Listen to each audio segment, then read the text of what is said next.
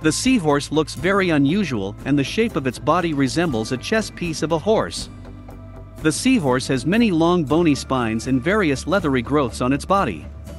Due to this body structure, the seahorse looks invisible among the algae and remains inaccessible to predators. The seahorse looks amazing, it has small fins, its eyes rotate independently of each other, and its tail is curled in a spiral. The seahorse looks diverse because it can change the coloration of its scales.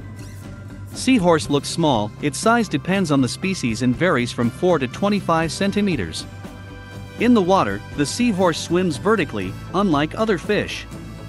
This is due to the fact that the seahorse's swim bladder consists of an abdominal part and a head part.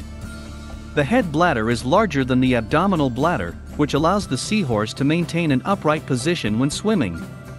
Another reason that contributes to the seahorse population decline is that they are a delicacy. Foodies appreciate the taste of these fish, especially the eyes and liver of seahorses. In a restaurant, the cost per serving of such a dish is $800. There are about 50 species of seahorses in all, 30 of which are already in the Red Book. Fortunately, seahorses are very prolific and can produce over a thousand fry at a time, which keeps the seahorses from disappearing. Seahorses can be bred in captivity, but this fish is very demanding to keep. The seahorse lives in tropical and subtropical seas.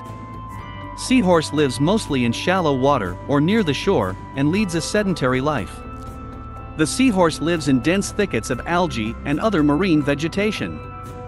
It attaches to plant stems or corals with its flexible tail, remaining almost invisible due to its body covered with various growths and spines. Seahorse fish changes its body coloration in order to fully blend in with its surroundings. In this way the seahorse successfully camouflages itself not only from predators, but also during food extraction. The seahorse is very bony, so few people want to eat it. The main hunter of the seahorse is the large land crab, the seahorse can travel long distances. To do this, it attaches its tail to the fins of various fish and holds onto them until the free cab swims into the algae thickets. Seahorses eat crustaceans and shrimp.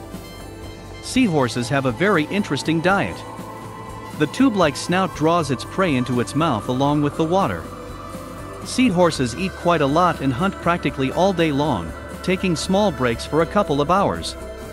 In a day seahorses eat about 3,000 planktonic crustaceans. But seahorses eat almost any food, as long as it does not exceed the size of the mouth. The seahorse fish is a hunter. With its flexible tail the seahorse clings to algae and remains motionless until the prey is in the required proximity to the head. Then the seahorse sucks up the water along with the food. Seahorses reproduce in a rather unusual way, because in them the fry is carried by the male. Seahorses often have monogamous pairs. The mating period of seahorses is an amazing spectacle. The pair, which is about to enter into a mating union, fastens their tails and dances in the water. As they dance, the seahorses press against each other, after which the male opens a special pocket in his abdomen, into which the female drops the eggs. Thereafter, the male carries the offspring for a month.